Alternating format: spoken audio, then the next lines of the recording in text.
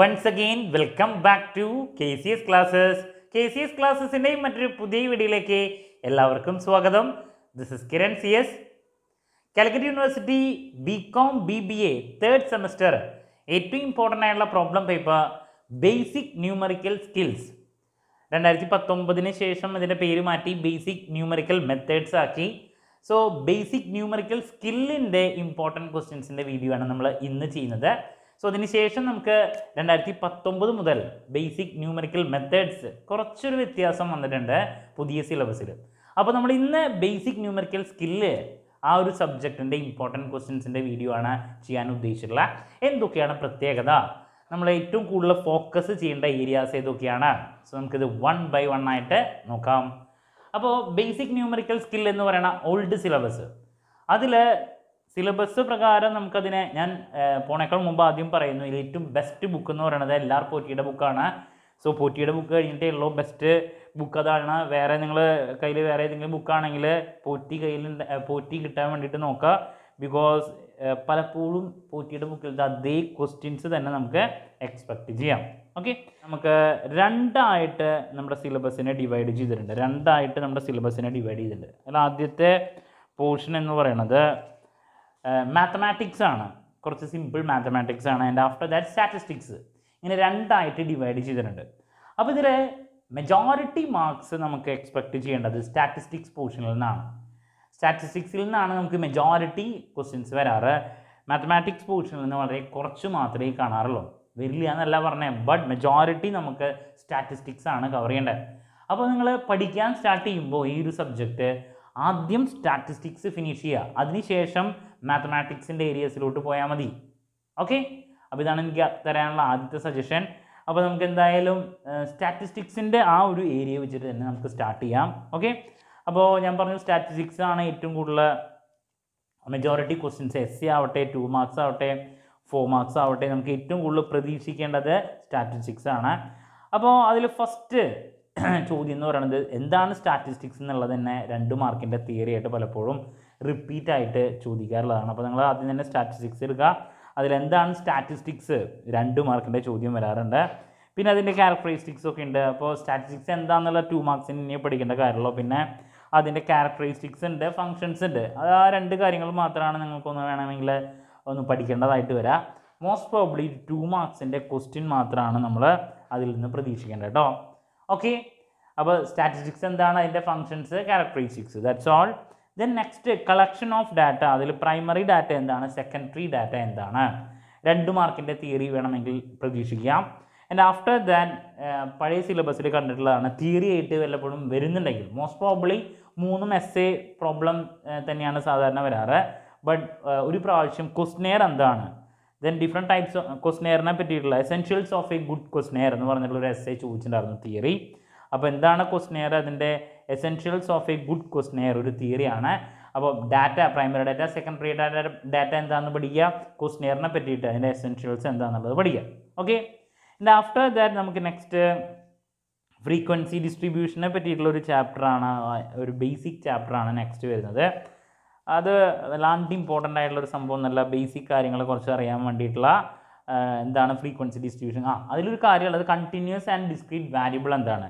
രണ്ട് മാർക്കിന്റെ ചോദ്യമായിട്ട് വേണമെങ്കിൽ എക്സ്പെക്ട് ചെയ്യാം. എന്താണ് കണ്ടിന്യൂസ് വാരിയബിൾ എന്താണ് ഡിസ്ക്രീറ്റ് വാരിയബിൾ അപ്പോൾ അതൊരു ടു മാർക്സിന്റെ ചോദ്യമാണ് നമ്മൾ പ്രതീക്ഷിക്കേണ്ടത് കേട്ടോ. ആൻഡ് ആഫ്റ്റർ ദാറ്റ് നമുക്ക് നെക്സ്റ്റ് ഗ്രാഫ്സ് ആൻഡ് ഡയഗ്രാംസ് എന്ന് പറഞ്ഞിട്ടുള്ള ചാപ്റ്ററാണ് ഇതിൽ ഏതെങ്കിലും ഒരു ഗ്രാഫ് അല്ലെങ്കിൽ ഡയഗ്രാം എന്താണെന്നുള്ളത് രണ്ട് മാർക്കിന്റെ തിയറിയാണ് പ്രതീക്ഷിക്കേണ്ടത്. ഇപ്പോൾ ബാർ ഡയഗ്രാം എന്താണ്? പൈ ചാർട്ട് എന്താണ്? ഇതെന്താണെന്നൊക്കെ നമ്മൾ രണ്ട് മാർക്കിന്റെ ചോദ്യമായിട്ട് നമ്മൾ പ്രതീക്ഷിക്കുന്നു. ഇപ്പോൾ ബാർ ഡയഗ്രാം എന്താണ്? പൈ ചാർട്ട് എന്താണ്? ഇതൊക്കെ ഹിസ്റ്റോഗ്രാം എന്താണ്? ഇതൊക്കെ രണ്ട് മാർക്കിന്റെ തിയറി ആയിട്ട് നമുക്ക് പ്രതീക്ഷിക്കാം. അതുപോലെ തന്നെ ഉജീവ് എന്താണ്? ഉജീവ് ലെസ് ദാൻ ഉജീവ് എന്താണ്? മോർ ദാൻ ഉജീവ് എന്താണ്? അത് പലപ്പോഴും ടു മാർക്സിന്റെ ചോദ്യമായിട്ട് കാണാറുള്ളതാണ്. അപ്പോൾ ഞാൻ ഈ പറഞ്ഞ ചാപ്റ്ററിൽ എല്ലാ തിയറി ഒക്കെ കവർ ചെയ്യണം. Diagram pie diagram bar diagram അതുപോലെ തന്നെ less than less than ogive more than ogive ogive എന്താണ്? ഇതൊക്കെ കവർ ചെയ്യണം എന്നുള്ളത് മസ്റ്റാണ് കേട്ടോ ഓക്കെ സോ ദാറ്റ്സ് അബൌട്ട് ആ ഒരു ചാപ്റ്റർ ഇനിയാണ് ഇമ്പോർട്ടന്റ് ആയിട്ടുള്ള കാര്യങ്ങളിലോട്ട് കിടക്കുന്നത്. ഇതുവരെ നമ്മൾ തിയറി കാര്യങ്ങളാണ് പറഞ്ഞത് ഇനിയാണ് measures of central tendency averages വളരെ ഇമ്പോർട്ടന്റ് ആയിട്ടുള്ള ഒരു ചാപ്റ്ററാണ് അതിൽ അരിത്തമെറ്റിക് മീൻ കാൽക്കുലേറ്റ് ചെയ്യാൻ. ടു മാർക്സിന്റെ വരും. രണ്ട് മാർക്കിന്റെ വരും. മീഡിയൻ ടു മാർക്സ് വരാം. നാല് മാർക്ക് വരാം. വളരെ ഇമ്പോർട്ടന്റ് ആണ്. ഒരു കാരണവശാലും സ്കിപ്പ് ചെയ്യാൻ പാടില്ല. Then mean mean median mode ഇത് മൂന്നും കൂടിയിട്ട് നമുക്കൊരു ചോദ്യം വരാം. മോഡ് മാത്രമായിട്ട് വേണമെങ്കിൽ ചോദിക്കാം. രണ്ട് മാർക്കിന്റെ വളരെ ഇമ്പോർട്ടന്റ് ആണ്. ദെൻ ഹാർമോണിക് മീൻ എന്താണ്? ടു മാർക്സിന്റെ ചോദ്യം. തിയറി ചോദിക്കാം. അതിൽ നിന്ന് വേണമെങ്കിൽ പ്രോബ്ലം ചോദിക്കാം. അതുപോലെ തന്നെ ജോമെട്രിക് മീന് ഹാർമോണിക് മീന് അപ്പോൾ ഈ മീനിന്റെ ചാപ്റ്ററിൽ ഒരൊറ്റ ടോപ്പിക്ക് പോലും നമുക്ക് സ്കിപ്പ് ചെയ്യാനില്ല. വളരെ ഇമ്പോർട്ടന്റ് ആയിട്ടുള്ളതാണ്. മീൻ മീഡിയൻ മോഡ് ഇത് മൂന്നും നമുക്ക് പ്രോബ്ലം ആയിട്ടും തിയറി ആയിട്ടും പ്രതീക്ഷിക്കാം. അതിൽ ഹാർമോണിക് മീൻ ഉണ്ട് ജിയോമെട്രിക് മീൻ ഉണ്ട്. അതിൽ നിന്നും നമ്മൾ നാല് മാർക്കിന്റെ പ്രോബ്ലംസ് പ്രതീക്ഷിക്കുന്നുണ്ട്. അത്രത്തോളം ഇമ്പോർട്ടന്റ് ആണ്. ഒരു കാരണവശാലും സ്കിപ്പ് ചെയ്യരുത് കേട്ടോ ഇനി next measures of dispersion measures of variability ആണ്. അതും ഇമ്പോർട്ടന്റ് ആണ്. അതിൽ റേഞ്ച് എന്താണ്? നമുക്ക് രണ്ട് മാർക്കിന്റെ തിയറി അതിൽ നമുക്ക് ക്വാട്ട് അതിനുശേഷം next semi inter quartile range അല്ലെങ്കിൽ ക്വാർട്ടൈൽ ഡീവിയേഷൻ അത് പ്രോബ്ലമായിട്ട് നമുക്ക് പ്രതീക്ഷിക്കാം. Quartile ഡീവിയേഷന്റെ calculation and after that mean ഡീവിയേഷന്റെ calculation നാല് മാർക്കിന്റെ പ്രോബ്ലം സാധാരണ വരാറുള്ളതാണ്. എന്താണ് മീൻ മീൻ ഡീവിയേഷന്റെ കാൽക്കുലേഷൻ ഒരു പ്രോബ്ലം നമുക്ക് എക്സ്പെക്ട് ചെയ്യാം. വളരെ ഇമ്പോർട്ടന്റ് ആയിട്ടുള്ള ഒന്നാണ്. ദെൻ അതിനുശേഷം അപ്പോൾ മീൻ ഡീവിയേഷൻ ആണ് പിന്നെ വരുന്നത്. അപ്പോൾ ഇതിൽ ഏതൊക്കെയാണ് ഞാൻ പറഞ്ഞത് range quartile deviation mean deviation അതിനുശേഷം സ്റ്റാൻഡേർഡ് ഡീവിയേഷൻ ഇത്ര കാര്യങ്ങളാണ്. അപ്പോൾ ഈ ചാപ്റ്ററിൽ ഒന്നും സ്കിപ്പ് ചെയ്യാനില്ല. ഈ നാലെണ്ണത്തിൽ നിന്നും തിയറിയും പ്രോബ്ലംസും ആയിട്ട് ചിലപ്പോൾ തിയറി ചോദിച്ചിട്ടുണ്ടെങ്കിൽ അത് പ്രോബ്ലം ആയിട്ട് ചോദിക്കും. ചോദിക്കും. തിയറി ആയിട്ട് ചോദിച്ചില്ലെങ്കിൽ പ്രോബ്ലം ആയിട്ട് ചോദിക്കും. അപ്പോൾ റേഞ്ച് അതുപോലെ തന്നെ quartile deviation mean deviation standard deviation നാല് ടോപ്പിക്കിൽ ഏതെങ്കിലും രണ്ട് പ്രോബ്ലം ബാക്കി രണ്ടെണ്ണത്തിൽ നിന്നും തിയറിയും പ്രതീക്ഷിക്കാം. അപ്പോൾ ആവറേജ് ചാപ്റ്ററും അതുപോലെ തന്നെ ഡിസ്പേർഷൻ വാരിയബിലിറ്റി ഈ ഒരു ചാപ്റ്ററും വളരെ ഇമ്പോർട്ടന്റ് ആയിട്ടുള്ള ഒന്നാണ് കേട്ടോ ഒരു കാരണവശാലും സ്കിപ്പ് ചെയ്യാൻ പാടില്ല. Next the most important chapter index നമ്പറാണ് നമുക്ക് അടുത്തത് നോക്കാനുള്ള ഇൻഡെക്സ് നമ്പറിൽ നിന്ന് എസ് എ ചോദ്യം വരും. ഒരു എസ് എ നമ്മൾ പ്രതീക്ഷിക്കുന്നത് ഇൻഡെക്സ് അല്ല അതിന്റെ അതിന്റെ ഇടയിലുള്ളത് മെഷേഴ്സ് ഓഫ് സ്ക്യൂനെസ് ആണ്. സ്ക്യൂനെസ്സിൽ നിന്ന് നമ്മൾ പ്രതീക്ഷിക്കുന്നത് ആക്ച്വലി ടു മാർക്സിന്റെ വല്ല തിയറിയാണ് എന്താണ് സ്ക്യൂനെസ് എന്താണ് കേട്ടോസിസ് എന്താണ്? രണ്ട് മാർക്കിന്റെ തിയറി ഒക്കെയാണ്. മൊമെന്റ്സ് എന്താണ്? ഇതൊക്കെ എന്താണ് രണ്ട് മാർക്കിന്റെ തിയറി ആയിട്ടാണ് നമ്മൾ പ്രതീക്ഷിക്കുന്നത് കേട്ടോ. അതല്ലാണ്ട് വല്ലാ വേറെ കാര്യങ്ങളൊന്നും ആ ചാപ്റ്ററിൽ നിന്ന് പ്രതീക്ഷിക്കുന്നില്ല. തിയറിയാണ് പ്രതീക്ഷിക്കുന്നുള്ളൂ ഇനിയാണ് ഞാൻ പറഞ്ഞ ഇൻഡെക്സ് നമ്പേഴ്സ് എസ് എ ഒരെണ്ണം നാല് മാർക്കിന്റെ ആണെങ്കിൽ പ്രോബ്ലം വരാം. അതുപോലെ തിയറിയും ചോദിക്കാം അപ്പോൾ ഇൻഡെക്സ് നമ്പറിന്റെ ഒരു എസ് എ ഷുവറാണ് എസ് എ വരുന്ന ഇൻഡെക്സ് നമ്പറിൽ നിന്നാണ്. അതുപോലെ തന്നെ നാല് മാർക്കിന്റെ ചോദ്യം വരാം. അതിൽ പലതരത്തിലുള്ള മെത്തേഡ്സ് ഉണ്ട്. ഒരുപാട് ആൾക്കാരുടെ ലാസ്പിയേഴ്സ് പാഷ്രി ഫിഷറിന്റെ പല പല മെത്തേഡ്സുകളുണ്ട് അപ്പോൾ അതിൽ weighted average aggregative method weighted average മെത്തേഡിലത്തെ പല പല കോൺട്രിബ്യൂഷൻസ് ആണ് ഓരോരുത്തരുടെ. അതാണ് സാധാരണ എസ് സി ആയിട്ട് വരാറ്. അതല്ലാണ്ട് simple aggregative weighted aggregative simple aggregative simple average relative method ഇതിലെല്ലാ മെത്തേഡിലും നമ്മൾ പഠിച്ചു പോകണം എന്നുള്ളതാണ്. എസ് സി ആയിട്ട് ഞാൻ നേരത്തെ പറഞ്ഞ പോലെ മൂന്നാലഞ്ച് ആൾക്കാരുടെ contribution Laspeyres Paasche Fisher ഇവരുടെ കോൺട്രിബ്യൂഷനാണ് എസ് സി ആയിട്ട് ചോദിക്കാറ്. വളരെ ഇമ്പോർട്ടന്റ് ആണ്. നാല് മാർക്കിന്റെ അതിൽ തന്നെ ചിലപ്പോൾ ഏതെങ്കിലും ഒരു മെത്തേഡ് എടുത്തിട്ട് നാല് മാർക്കിന്റെ പ്രോബ്ലം ആയിട്ടും പ്രതീക്ഷിക്കാം. അപ്പോൾ ഞാൻ പറഞ്ഞു എസ് എ ഇൻഡെക്സ് നമ്പർ ആണ് അതിൽ നിന്ന് തന്നെ നാല് മാർക്കിന്റെയും പ്രതീക്ഷിക്കാം.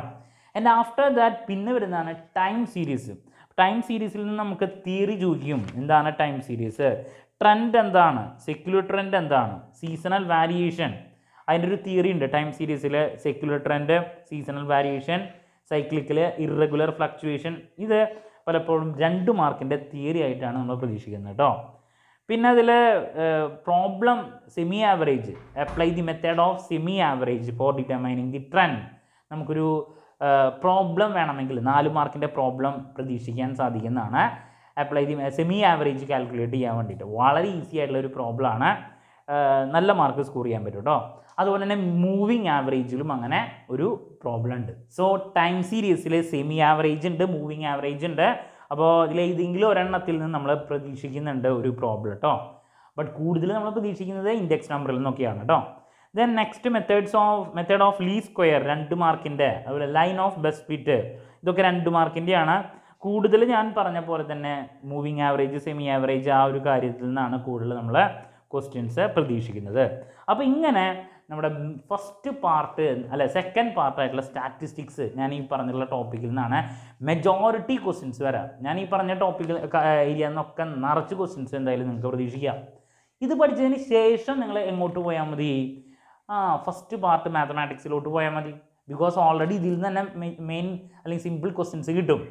അപ്പോൾ അതിന് ശേഷം മാത്തമാറ്റിക്സിലോട്ട് പോയാൽ മതി. അപ്പോൾ അതിൽ ഫസ്റ്റ് ചാപ്റ്റർ വരുന്നത് ഇക്വേഷൻ ആണ്. അപ്പോൾ അതിൽ ഏതെങ്കിലും ഒരു ഇക്വേഷൻ സോൾവ് ചെയ്യാൻ വേണ്ടിയിട്ട് ഇപ്പോൾ ക്വാഡ്രാറ്റിക് ഇക്വേഷൻ എന്താണെന്ന് രണ്ട് മാർക്കിന്റെ തിയറീനെ ചിലപ്പോൾ തിയറി വരാം അല്ലെങ്കിൽ അത് സോൾവ് ചെയ്യാൻ വേണ്ടിയിട്ടുള്ള ഒരു പ്രോബ്ലം ആണ് നമുക്ക് പിന്നെ പ്രതീക്ഷിക്കുന്നത് കേട്ടോ അപ്പോൾ ഏതെങ്കിലും ഒരു എന്താണ് സൊല്യൂ സോൾവ് ചെയ്യാൻ വേണ്ടിയിട്ടുള്ള ഒരു ഇക്വേഷൻ തരും എന്നുള്ളതാണ്. അത്ര ഒരൊറ്റ ക്വസ്റ്റ്യൻ ആണ് നമ്മൾ ഇതിൽ നിന്ന് പ്രതീക്ഷിക്കുന്നുള്ളൂ പിന്നെ വൺ വേർഡ് ചോദ്യങ്ങളായിരിക്കും വരിക അപ്പോൾ ഈ ഇക്വേഷൻ ചിലപ്പോൾ നാല് മാർക്ക് ആവാം ചിലപ്പോൾ രണ്ട് മാർക്ക് ആവാം. അപ്പോൾ അതാണ് ഫസ്റ്റ് ചാപ്റ്ററിൽ നിന്ന് പ്രതീക്ഷിക്കേണ്ടത്. ദെൻ സീക്വൻസ് ആൻഡ് സീരീസ് എന്ന് പറഞ്ഞിട്ട് ഒരു ചാപ്റ്ററാണ് നെക്സ്റ്റ് വരുന്നത്. ഒരു ജസ്റ്റ് ഒരു കൺസെപ്റ്റ് മാത്രം പറയലാണ്. ആൻഡ് ആഫ്റ്റർ ദാറ്റ് പ്രോഗ്രഷൻ ചാപ്റ്ററിൽ നിന്ന് കമ്പൽസറി ആയിട്ട് അരിത്തമെറ്റിക് പ്രോഗ്രഷൻ കാൽക്കുലേറ്റ് ചെയ്യാനുള്ള ചിലപ്പോൾ ടു മാർക്സ് ആവാം അല്ലെങ്കിൽ ഫോർ മാർക്സിന്റെ ഒരു പ്രോബ്ലം എന്തായാലും ഉണ്ടായിരിക്കും. ഒരു കാരണവശാലും നമ്മൾ സ്കിപ്പ് ചെയ്യാൻ പാടില്ല പ്രോഗ്രഷന്റെ പ്രോബ്ലം അതെന്തായാലും ചെയ്തു പഠിക്കണം കേട്ടോ ചിലപ്പോൾ നാല് മാർക്കാവാം അല്ലെങ്കിൽ രണ്ട് മാർക്കാവാം. പിന്നെ ചിലപ്പോൾ പ്രോഗ്രഷൻ എന്താണെന്ന് ചിലപ്പോൾ തിയറി വേണമെങ്കിൽ അതും നമുക്ക് എക്സ്പെക്റ്റ് ചെയ്യാം. So that's about progression chapter and after that പ്രോഗ്രഷന്റെ ചാപ്റ്ററിന് ശേഷം നെക്സ്റ്റ് അതിൽ ഹാർമോണിക് പ്രോഗ്രഷൻ അങ്ങനെ രണ്ട് മൂന്നെണ്ണം ഉണ്ട്.